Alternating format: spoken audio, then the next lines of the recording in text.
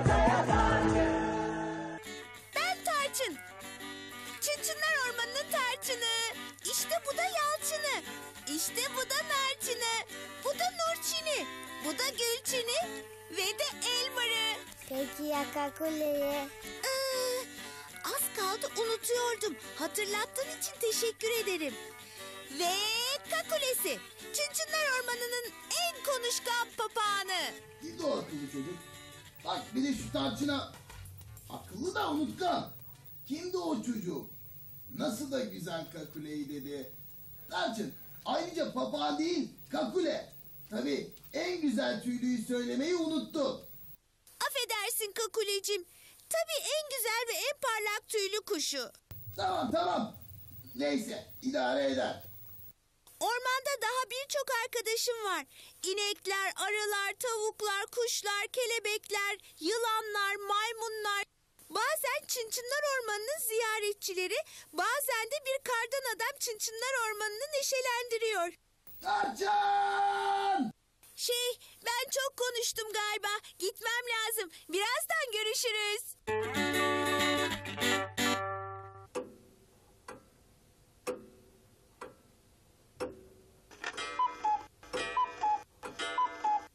Saat bir.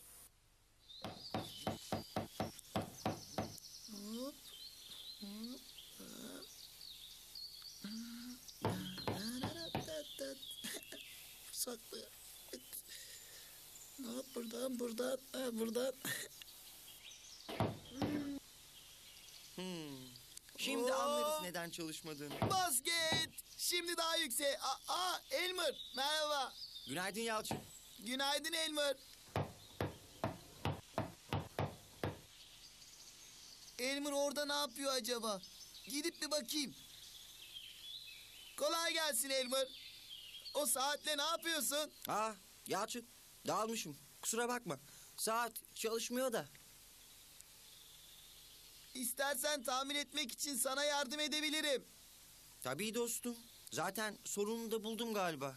Ya demek buldun. Nesi varmış? Galiba bu saatin pili bitmiş. Pili mi bitmiş? Evet dostum.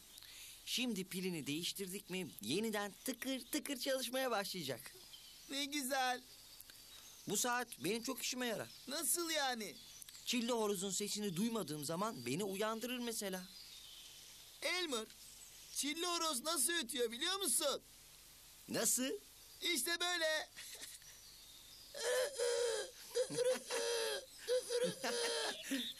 Yalçın bil bakalım sırada hangi sayı var? Bir, iki, üç, dört, beş, altı, yedi, sekiz, dokuz, on, on bir, on iki. On iki. On iki.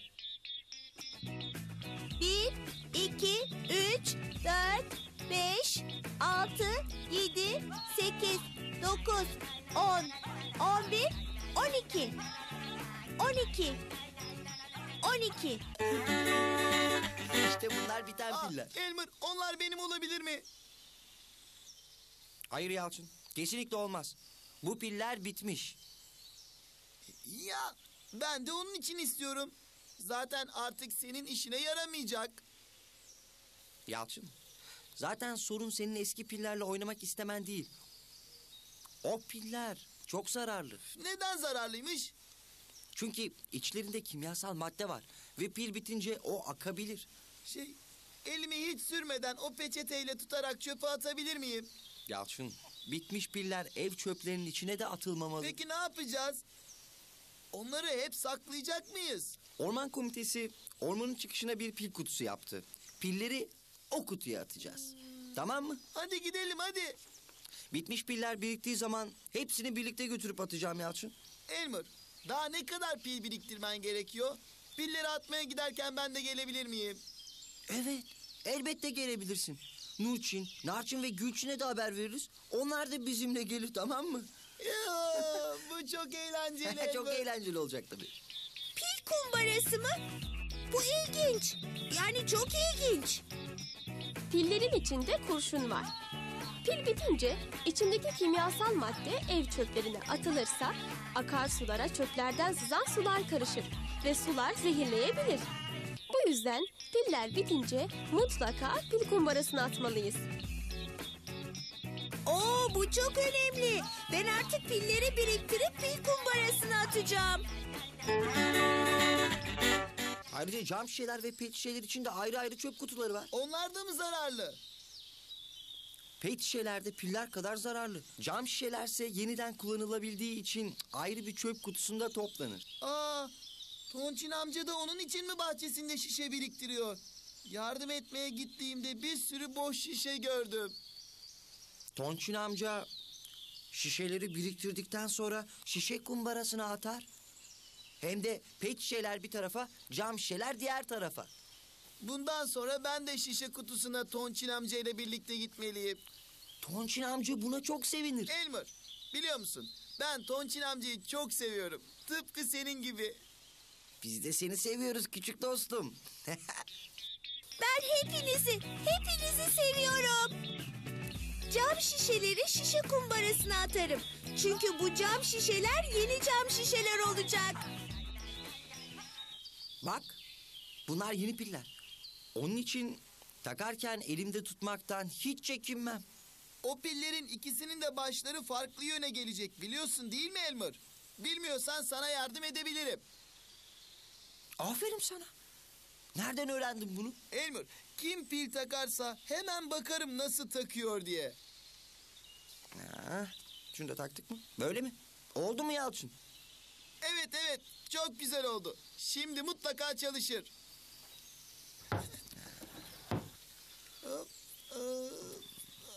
Elmer, biliyor musun? Geçen gün oyuncağımın çalıştırma düğmesini açık bırakmışım.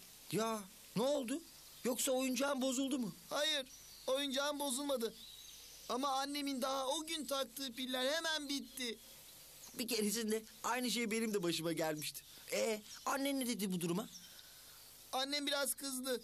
Eşyalarımı daha dikkatli kullanmam gerektiğini söyledi. Oyuncağına yeni piller taktı mı? Hayır, birkaç gün oyuncağıma pil almadı. Babamın da almasına izin vermedi. Ya bak sen şu işe. Bu arada oynamak istediğim halde oyuncağımı çalıştıramadığım için çok sıkıldım. Çok yazık olmuş ya. Ama Elmer biliyor musun? Hiçbir oyuncağımın açma kapama düğmesini açık bırakmam. Aferin. Kapalı, açık. Pille çalışan bir radyo. Bu radyonun açma kapama düğmesi. Radyo açık. Şimdi radyo kapalı. Bu da elektrikle çalışan bir süpürge. Çalışması için önce fişinin prize takılı olması gerekir. Bu da elektrik süpürgesinin açma kapama düğmesi. Çok değişik değil mi? Şimdi süpürge açık. Bakın nasıl da çalışıyor. Çok gürültülü. Düğmesine tekrar basınca kapandı. Elektrik süpürgesi çalışmıyor. Açık, kapalı. Bir kapı. Kapı açık. Kapı kapalı. Bu da otomatik bir kapı. Açık, kapalı.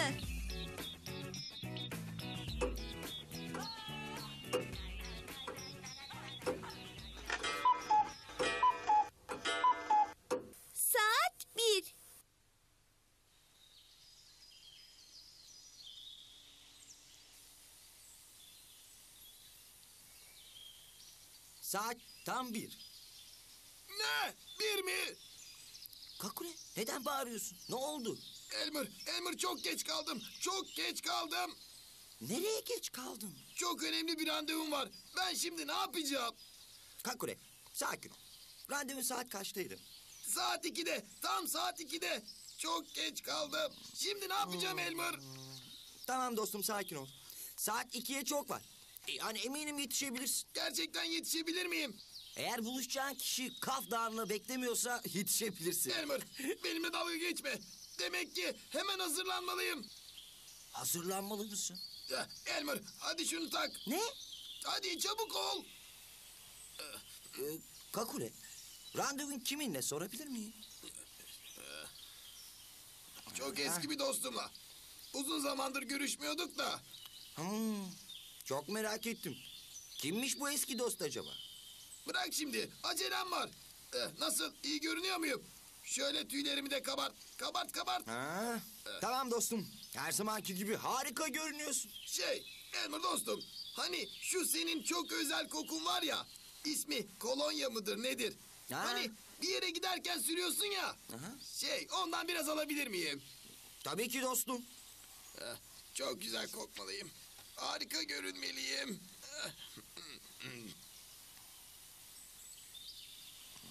Kakule. Bak e, ben bu eski dostunu tanıyor muyum acaba? Hayır hayır. Biz onunla seninle tanışmadan çok önce tanışmıştık. Yani çok çok çok eski bir dost yani. Öyle dostum öyle öyle. Peki uzun zamandır görüşmediğin şu eski dostunla görüşmek nereden aklına geldi ki? Şey, ailesiyle tropik ormanından göç ediyorlarmış. Yolu da buradan geçiyormuş. Eh, beni görmeden de gitmek istememiş tabii. Anlıyorum. Neyse dostum neyse. Benim hemen gitmem lazım. Elmer, iyi görünüyorum değil mi? Harika görünüyorsun. Eski dostun seni hatırladığından çok daha yakışıklı bulacak Kakule. Sağ ol dostum. Aa! Akşam erkenden yatar, sabahları erkenden kalkar.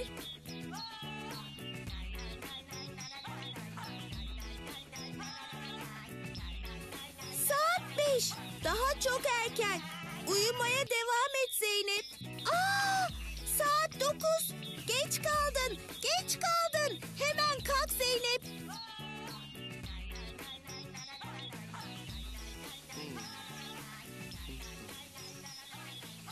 Ah Kakule eski dostum ah. Elmer!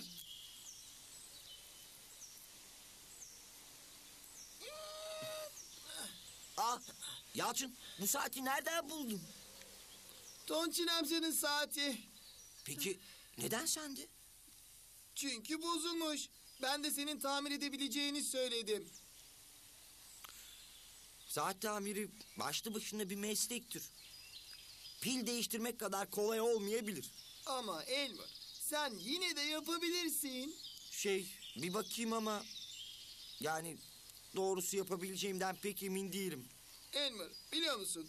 Bu çok eski bir saatmiş. Her saatte bir böyle ding dong ding dong diye ses çıkartıyormuş.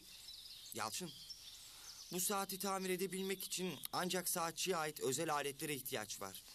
Yani aletler olsa bile ben bir saatçinin sahip olduğu bilgiye ve tecrübeye sahip değilim.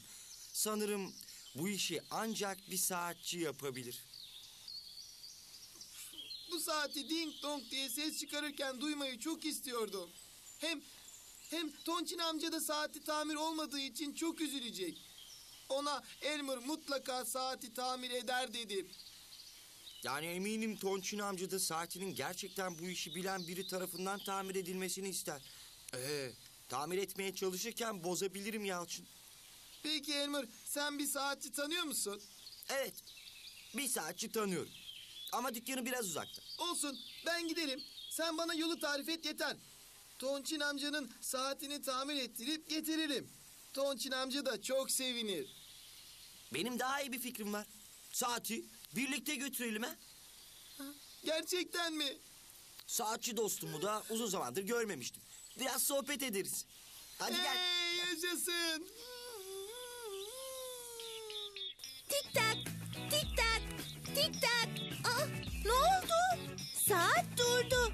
Ne yapmak lazım? Doktora götürmeli. Doktora mı? Yani saatçiye. Saatçi mi? Evet saatçi. Saatçiler saat doktorlarıdır. Saatimiz bozulduğunda onlara götürürüz. Saatçiler minicik aletleriyle saatleri tamir ederler. Tekrar o güzel sese kavuşuruz. Bir saatin içinde yüzlerce parça vardır. Tabi bu parçalar bir araya gelince bir saat oluyor. Zor bir olaydır tabi. Ee, saatçi olmak da çok kolay değil tabi. Günlerce günlerce yıllarca çalışıyorsunuz. İlkokulu bitirdikten sonra hatta şimdi orta ilk öğretim oluyor.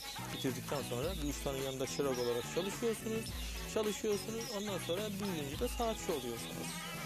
Kolay bir iş değil. Onun için saatin değerini bil ve iyi kullan. Anlaştık mı? Tik tak, tik tak, tik tak. Saatini koluna tak. Ona iyi bak. Tik tak, tik tak. Ve Yalçın, Elmer'ın saatçi arkadaşının yanından galiba döndüler. Yalçın hepsi de ne kadar güzeldi değil mi? Elmer saatçide ne çok saat vardı öyle. O çocukluğundan beri saat koleksiyonu yapar. Ben en çok robot saati beğendim. Evet, gerçekten güzeldi. Aa, hemen gidip Tonçin amcaya saatini vereyim. Yeniden çalıştığını görünce çok sevinecek. Tamam bence de. Aa, Elmer, beni saatçiye götürdüğün için teşekkür ederim. Benim için zevkti.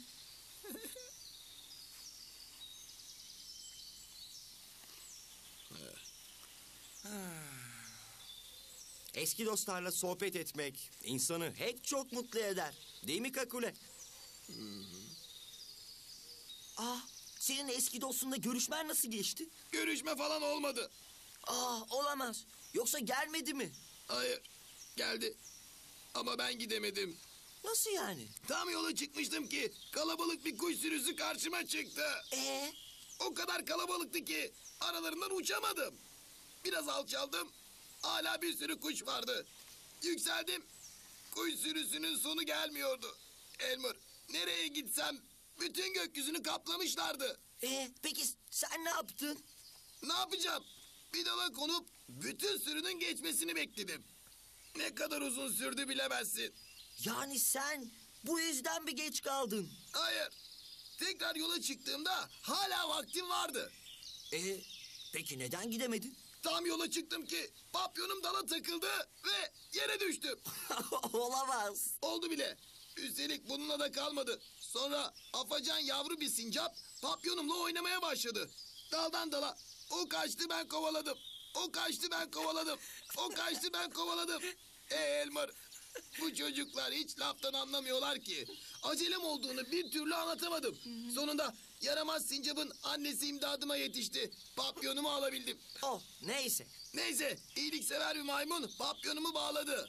Çok iyi, çok iyi. Hiç de değil. Ama neden? Sonra orada bir çiçek bahçesi gördüm.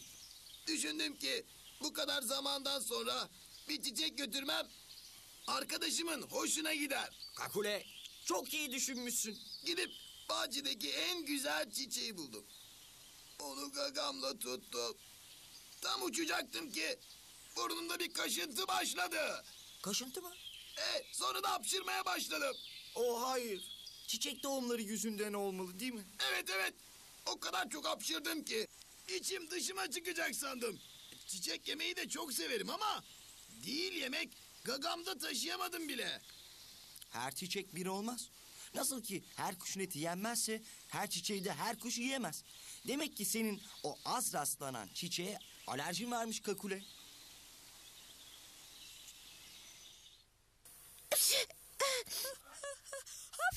Hapşı.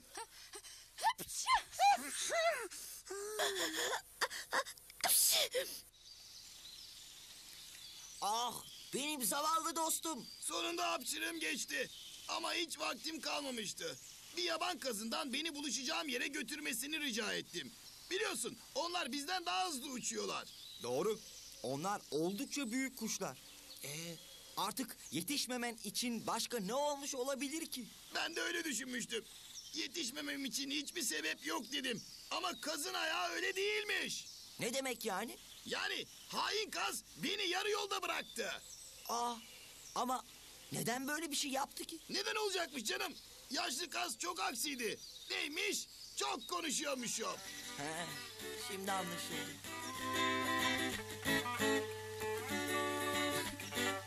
Neyse canım. Kazın aksiliğine rağmen buluşma yerine ulaştım. Nihayet. Ama ben gittiğimde onlar çoktan havalanmıştı. Geç kalmışım. Kıl payı kaçırdım dostum. Bir daha kim bilir ne zaman görüşebiliriz. Dostum sen elinden geleni yapmışsın. Eminim görüşmek için başka fırsatlarınız da olur. Ben hiç emin değilim. Dostum bilirsin eski dostlar birbirlerini görseler de görmeseler de dostlukları hiçbir zaman bitmez. Evet dostum. Haklısın. Aa ne kadar da geç olmuş. Bütün bu yolculuk seni çok acıktırmış olmalı. Aa, evet evet. Nereden bildin dostum? Dostlar birbirini çok iyi tanırlar turuncu gagalı. Hoşçakalın.